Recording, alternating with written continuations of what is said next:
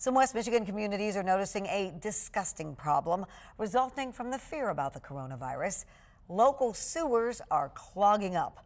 13 on your side's Elena Holland tells us how this is putting a strain on public works. Store shelves might be running low on toilet paper, and you might be getting low yourself at home. But local sewage workers remind you to think twice before flushing anything else.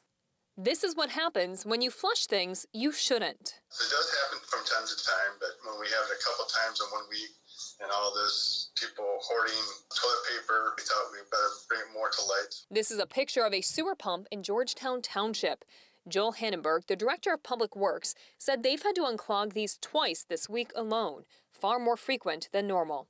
And this gross mess, well, they have to clean it out by hand. Not, not so nice. We have to take gloves and, and we're pulling it out by hand. That's the only way to get it out. The city of South Haven also has a warning stop flushing wipes, even if they say they're flushable on the package. Don't use your toilet as a trash can. William Hunter is their public works director.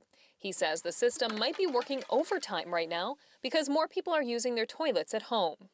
Could people be using stuff that that's not toilet paper? And now you have more people home in their residency instead of maybe at work. And so what could they be using? If you do have to get creative with the tools for your business, like using paper towel or wipes, make sure to throw them in the trash can, not in the toilet after use. You know, we could be doing other things besides picking apart pumps that people shouldn't have put uh, down the toilet in the first place.